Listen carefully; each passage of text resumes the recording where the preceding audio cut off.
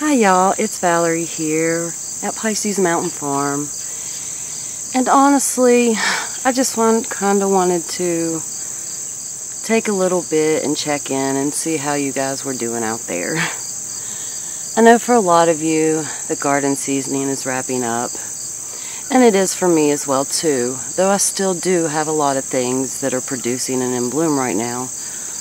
Um, it's seed saving time it's harvesting the last of the fruits and summer vegetables. I've been kind of missing in action lately because I've been really busy doing stuff around the farm. And as anyone knows who has ever recorded a YouTube video, it takes two to three times as long to do something when you've got to figure out where to film, get the lighting right, just be ready in general, lug your equipment around, set up the shot.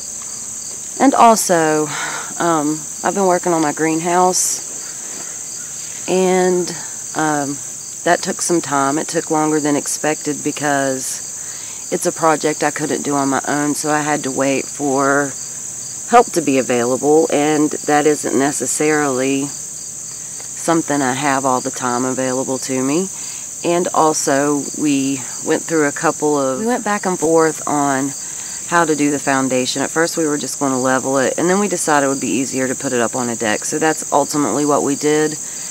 And so that took time.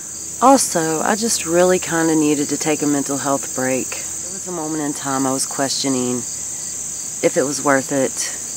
What am i doing? Why am i doing this and I just kind of had to step back and reevaluate my reasoning. And honestly, it just basically came to it makes me happy. That's why I'm doing this. Regardless of any other goals that I may have. Like someday I would love to make money off my farm.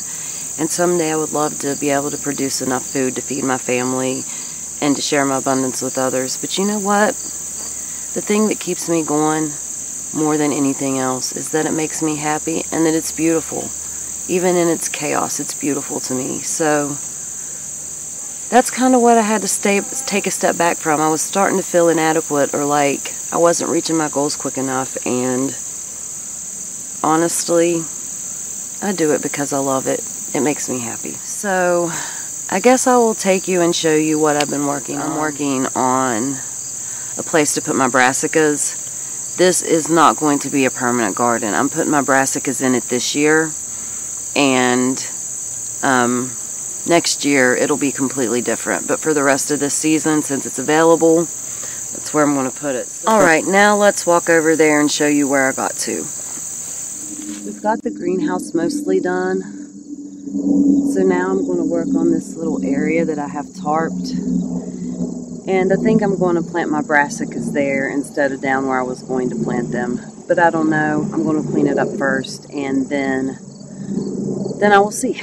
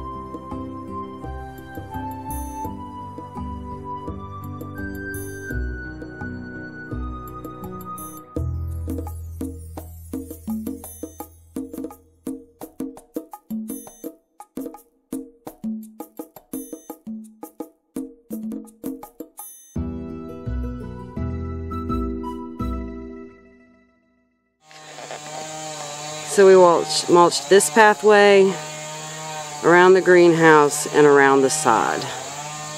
And I'm going to go in and mulch these beds.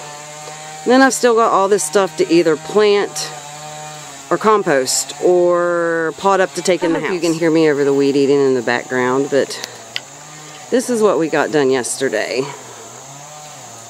We got this pathway mulched. We got this weed eated.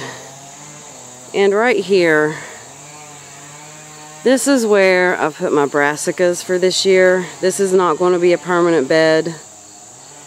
But for now, I put brassicas in. They're probably a little late, but I put them in anyways. And so today I'm going to just mulch around my plants.